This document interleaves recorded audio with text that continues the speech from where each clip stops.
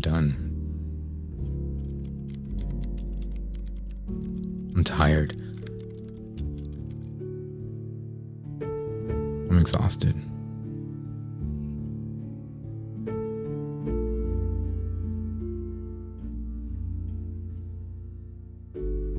What if.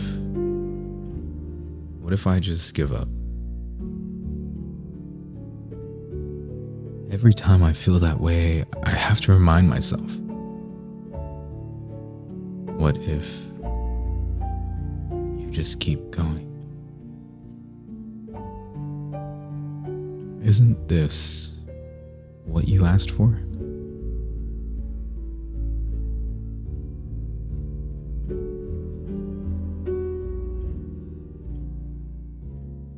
So, this video is on the topic Isn't this what you asked for?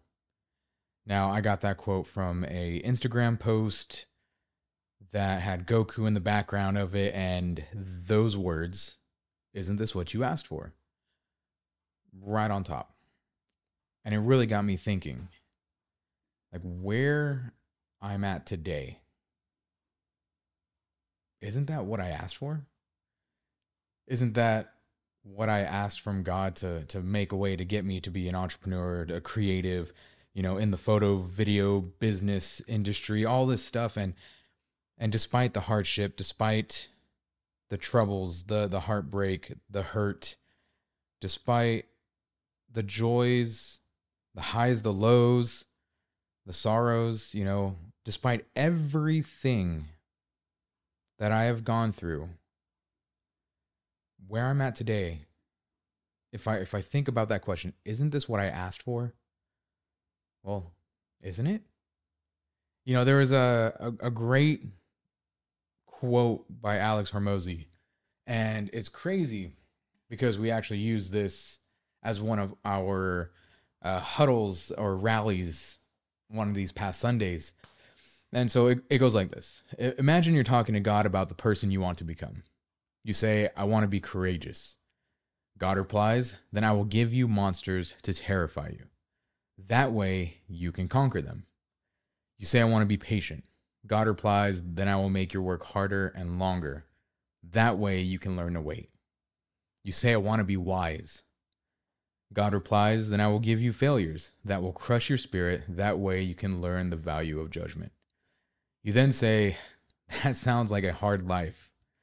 Can you give me a good life?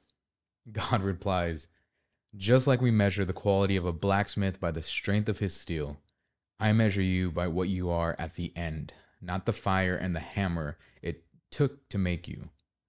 A good life isn't an easy life. A good life makes you into a good person, and that, my child, is a hard life. So it just kind of hits home if you if you really take a moment and whatever you're doing, wherever you're at, whatever situation you're in right now, like, isn't this what you asked for though?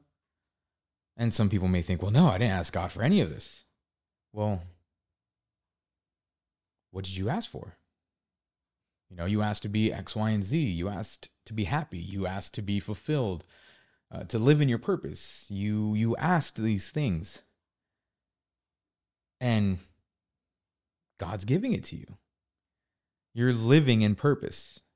You know, you're fulfilling on your end. Although it may be difficult at times, although you may struggle, although you may find some hardships, you may find heartbreak, you may find that you're unemployed, you may find that you've got $5 in your bank account and you're living paycheck to paycheck. Shoot, you may find that you're living it up. Great job, great everything. And yet there's still there's still a piece that's questioning in the back of your head like why am I here? Why am I here in this position right now? And I would go back to that quote Isn't this what you asked for? Me personally, I asked God, you know, give me wisdom, uh, help me with, you know, financial stability, help me create something that helps others grow in their purpose or in their dreams, their career, whatever that looks like, you know, allow me to make a difference. And so as I sit here creating content, as I as I sit here working on different things, there are times where it's like I I'm tired of it. I, what what if I just give up? What if I just quit right now? And I got to that point where I did want to quit. I did want to give up. I wanted to just say, you know what, I'm done with the vision that I had. I'm done with the dreams that I had written down in my journals or that I had wanted to chase after. And then I saw that image. Isn't this what you asked for? Now, it, it can it can really kind of boggle somebody's head if they continue to over like oh if you overthink it. Well again you go back to the, oh i didn't think about that or i didn't ask for god to put me in this situation. Well let's let's go back to you know you want to be courageous. Well god will give you monsters to terrify you so that you can conquer them. You want to be financially stable or you know wealthy or rich or whatever it may be. Well you got to be able to you have to be able to be faithful with the small be faithful with the little so that God knows, hey, if you're wealthy or if you're rich or you know the the clients and the money comes in, you're not going to waste it. You're not going to use it poorly. But you're going to use it with wisdom. You're going to be wise with your money. Oh, you know, I want to be happy. Great. You're going to have some hardships to really understand what it means to truly be happy.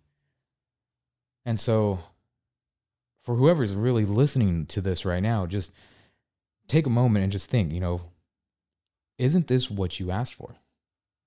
So you may find yourself complaining about the hardships. You may find yourself in a rut, but everything that you're going through is what is going to prepare you for that next level. It's going to prepare you for what you have been asking for. You know, we can go back to the whole Alex Hormozi quote and all this stuff, but you know, you ask God for something and he's going to give you a test, a trial. He's going to give you something that pushes you to the next level your next steps. And it's it's great because it says, you know, just like we measure the quality of a blacksmith by the strength of his steel, I measure you by what you are at the end. So when a blacksmith goes and creates a sword or creates a weapon, whatever he's working on, he's constantly putting it through the fire, constantly hammering it down and building it to make sure it is a strong sword, whether it's steel, iron, whatever material is being used, but is constantly being put in the fire, constantly being worked on. And that's kind of, I don't even want to say that's kind of at.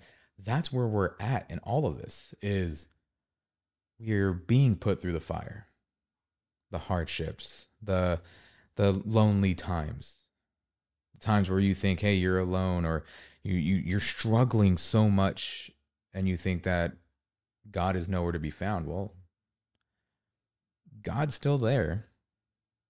You're just being tested. You're being tried by fire. And so you need to continuously keep moving forward. You know, reflecting back, I reflect on and I have it on my phone at all times now. You know, isn't this what you asked for? Reminding me daily in those times where it's like, you know what? I'm exhausted. I'm tired. I don't want to do the work. I can do it tomorrow. Tomorrow's never going to come. Tomorrow, later, next time, it's all just another way of saying never. You're never going to find enough time. There's only 24 hours in a day, and you're asleep for eight of them. Myself, maybe four or five, but I'm working on it.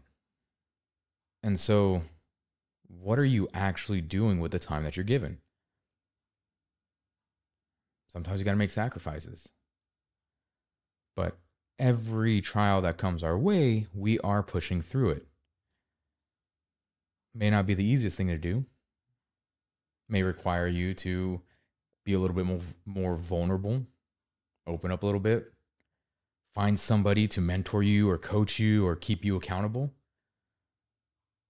And sometimes those people are very hard to find because not everybody is going to want to keep you accountable. So there's this quote that I was sharing by Chris Williams or Chris Williamson about people keeping you accountable or people like rooting for you and all this stuff. And it, it says people root for you on your way up because you remind them of their dreams. They tear you down once you're there because you remind them that they gave up on them. Everyone wants you to do well, just not better than them. And so that's why it's difficult finding somebody who's actually willing to keep you accountable, who's actually willing to help push you to the next level. It's because a lot of people don't like to see you do better than them. And I speak from the creative standpoint because that's just kind of where my career field is. And a lot of times there are creators who will try and kind of push you down, or you you'll find a few that are actually there with you and say, "Hey, no, keep going forward. Let me help push you up," and then you reach back to pull them up as well. But for the most part, from what I've seen, it, it's a very tough there is a very difficult time finding individuals to actually keep you accountable because they themselves may not be able to keep themselves accountable. They struggle with the idea of, well, I'm here, but I want to be here. Well, there's this whole gap of levels you have to get through in order to be here. It kind of also goes back to the last uh, video I made on entrepreneurship, you know, being a video game, you have to learn to level up. You have to learn to grind.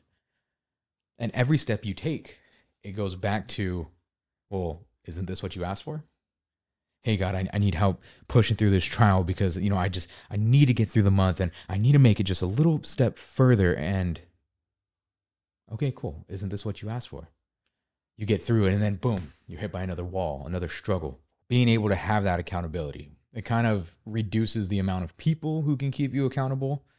And once you find somebody who is actually willing and able to keep you accountable,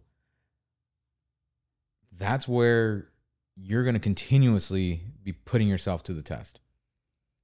Every step, every new level, every trial, every, you know, habit you want to build, everything you want to produce, you want to create, you whatever it may be. Again, I talk from the creative field perspective, but it could be any field.